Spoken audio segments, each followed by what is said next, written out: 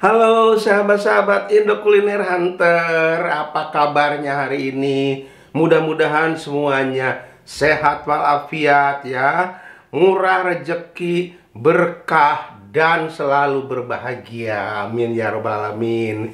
Nah, hari ini ya menjelang bulan suci Ramadan, saya akan memasak uh, yang simple ya. Dan ini cocok untuk uh, menu sahur dan berbuka puasa ya.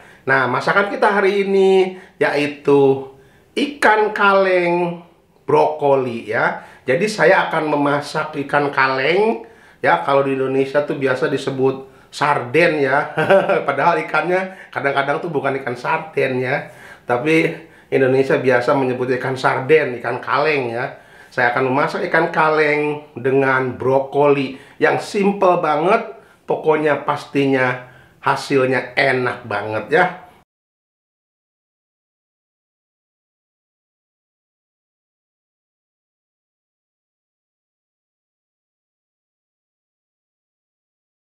Nah, untuk itu kita persiapkan dulu bahan-bahan yang diperlukannya. Ini bahannya ya untuk memasak ikan kaleng brokoli ya. Nah, ini ikan kalengnya. Ini isinya ikan makrel ya. Ikan makrel tuh enak banget, gurih. Nah, ini ikannya ini bagus ya, ikannya asli ya, bukan kaleng-kaleng ya. Nah, ini ada dua kaleng. Tuh. Boleh juga pakai ikan sarden apa aja ya. Kemudian ini brokolinya satu buah ya. Ukuran sedang. Dan bumbu-bumbunya Nah, ini 5 siung bawang merah yang besar. Ini jahe agak besar ya supaya jangan amis ya. Tapi jahenya ini di sini mah kurang wangi ya. Jadi saya pakai banyak, ini gurih. Ini kurang lebih e, 4 cm. Dua batang daun bawang. Kebetulan ada sisa nih di kulkas. Kemudian tiga lembar daun jeruk.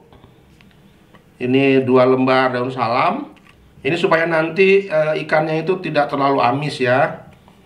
Kemudian 5 siung bawang putih, 3 buah cabai besar, ada 5 buah cabai rawit ya. Bisa disesuaikan kalau ingin lebih pedas, silakan aja ditambah cabai rawitnya.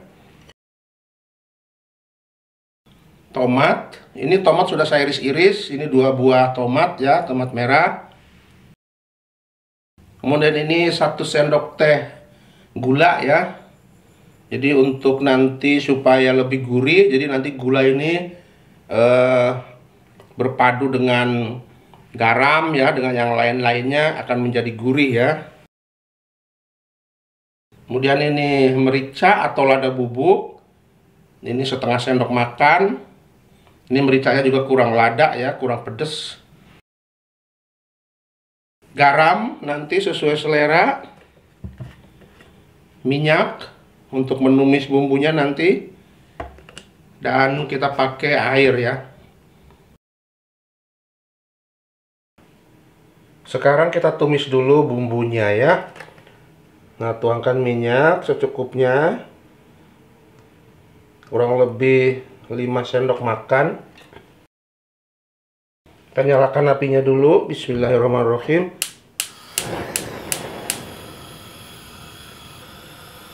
Kita tumis bawang merahnya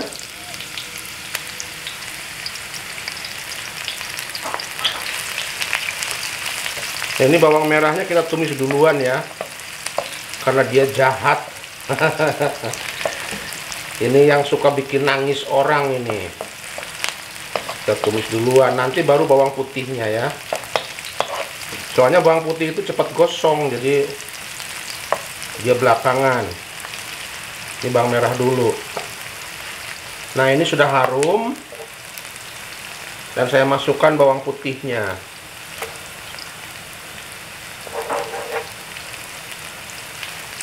jadi tumis bawangnya itu jangan terlalu kering ya. Jadi basah-basah aja supaya gurih ya.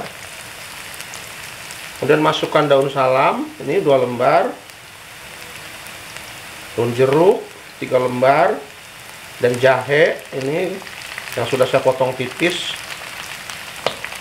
Ini supaya nanti ikan sardennya tidak begitu amis ya.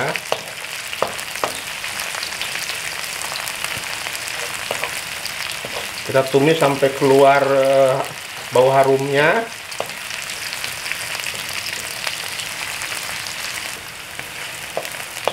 Nah ini sudah harum nih. Saya masukkan brokolinya.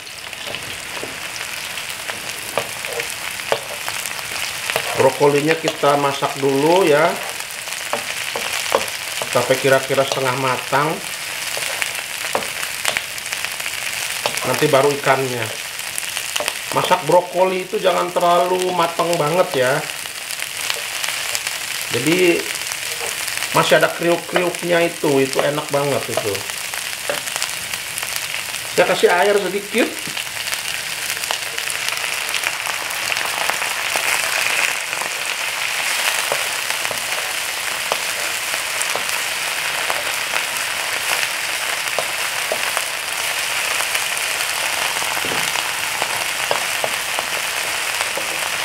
masak brokoli itu jangan ditutup ya. Kalau ditutup nanti brokolinya itu warnanya tidak hijau jadi pucat ya. Masak kangkung juga gitu. Masak kangkung sawi brokoli sebaiknya jangan ditutup kemudian pakai api yang besar. Jadi dia cepat matang dan warnanya bagus ya tetap hijau. Nah ini brokolinya sudah layu ya sudah mau setengah mateng. Dan sekarang saya masukkan ikannya. Nah ini ikannya.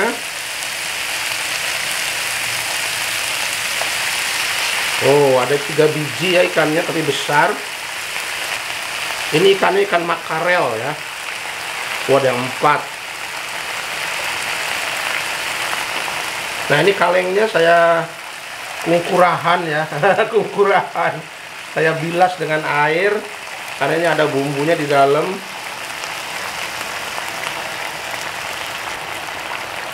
Nah ini juga kaleng yang nomor 2 nya saya kungkurahan juga. Kungkurahan itu bahasa Sunda ya dibilas dengan air supaya bersih wadahnya gitu. Maksudnya gitu Selanjutnya kita kasih garam.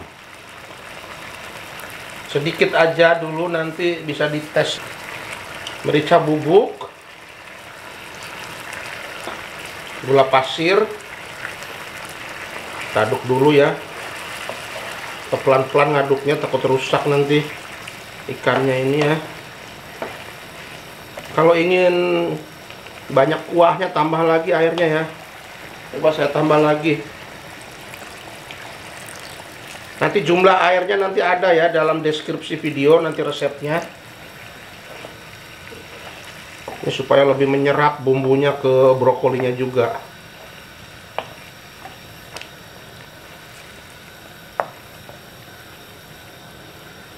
Masukkan tomat.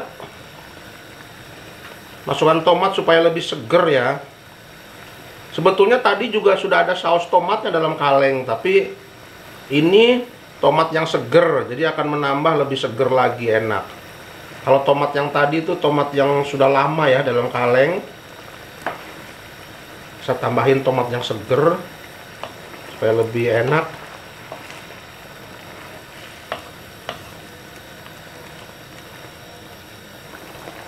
Nah saya akan coba sedikit rasanya ya. Bismillahirrahmanirrahim Aduh, gurih. Gurih banget. Enak ya. Dan garamnya saya kira sudah cukup. Jangan terlalu asin. Karena kalau bulan puasa itu kalau sahur itu makannya asin nanti jadi aus terus ya. Jadi ini cocok untuk sahur dan buka puasa. Nah, sebelum kita angkat, kita masukkan cabai merahnya ya. Wow ini tambah menendang. Dan juga cabai rawit. Dan terakhir daun bawang. Ini dia ikan kaleng brokoli.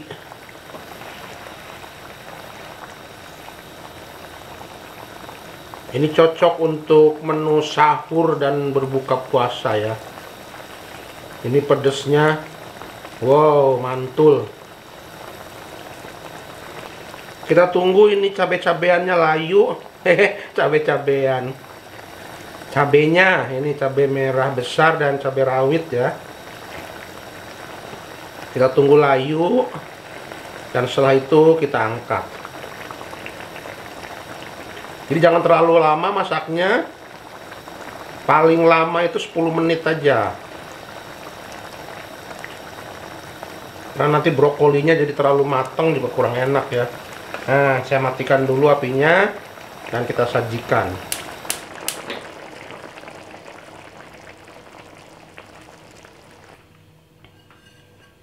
Kita sajikan ya. Nah, waduh, tuh. Ikan sardennya atau ikan kalengnya ya, mantul banget. Dengan brokoli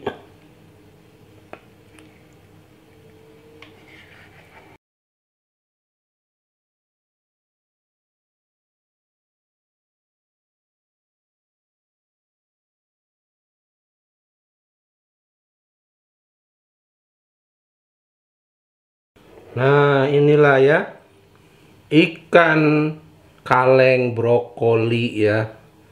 Tuh, mantep banget. Ini cocok banget ya untuk menu sahur dan berbuka puasa.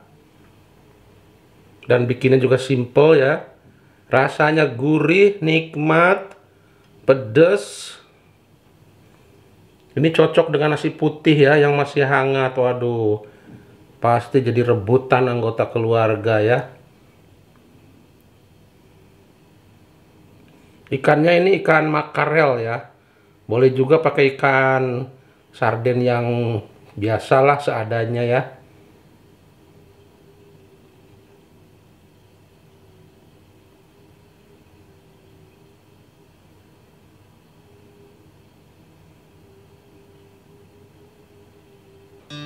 Sahabat-sahabat Indo Kuliner Hunter, akhirnya saya selesai ya memasak ikan kaleng brokoli yang enak banget ya.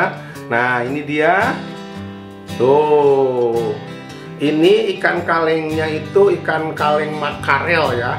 Boleh juga pakai ikan sarden ya atau ikan tuna ya. Pokoknya yang penting ikan kaleng gitu ya, tapi bukan yang kaleng-kaleng ya.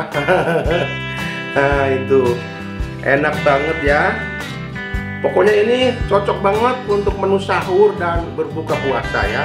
Jadi kalau sahur itu kan biasanya harus cepet ya. E, nanti keburu imsak, jadi terburu-buru masaklah ikan kaleng ini, ikan sarden ini, tapi dengan sayuran ya supaya lebih sehat ya. Nah, ini gurih banget, lumayan pedesnya juga. Tapi kalau untuk anak-anak ya dikurangin aja cabenya ya. Kalau perlu hanya pakai merica aja atau lada aja ya. Jangan pakai cabai rawit ya. Atau cabai merah. Kasihan anak-anaknya. Tuh enak banget. Pokoknya silahkan dicoba resepnya. Like share komen dan juga subscribe ya. Supaya saya tetap semangat untuk memasak terus membagikan inspirasi masakan yang insya Allah berguna untuk kita semuanya. Amin ya rabbal alamin. Sampai di sini dulu videonya Tetap jaga kesehatan. Salam sehat selalu.